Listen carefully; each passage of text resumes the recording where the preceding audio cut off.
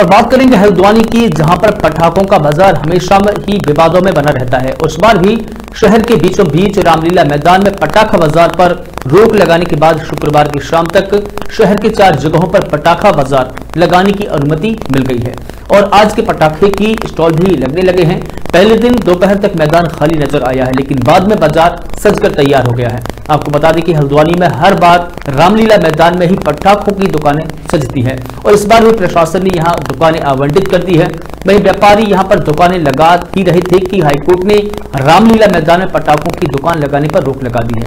वहीं इसके पीछे दलील दी गई है कि रामलीला मैदान के चारों ओर घनी आबादी बसी है। ऐसे में यहाँ पर पटाखे बेचने और कोई हादसा होने पर परिणाम गंभीर हो सकते हैं, जिसके बाद प्रशासन ने अपना आदेश वापस ले लिया है। हाईकोर्ट की सख्ती के बाद नगर प्रशासन ने गुरुवार को ही एमबी इंटर कॉलेज मैदान में दुकानें लगाने की अनुमति दे दी है। शुक्रवार को यह संख्या और बढ़कर चार तक पहुँच सकती है। शुक्रवार को प्रशासन ने तीन और जगहों पर दुकानें लगाने की अनुमति दी है। अब हल्द्वानी में चार जगहों पर पटाखे की बाज़ार सजाए जाएँगे। हल्द्वानी से दीपक अधिकारी की रिपोर्ट।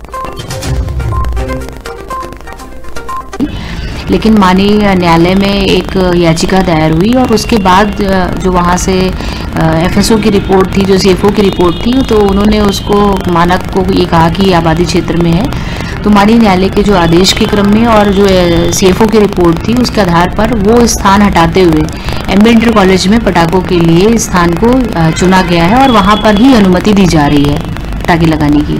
जाएगा? और उन्हें, उनके आदेश के अनुसार ये मिला, हमें ये बताया गया कि एमबीपीजी में ही पूरा दिवाली मेला लगेगा। प्रशासन ने जल्द से जल्द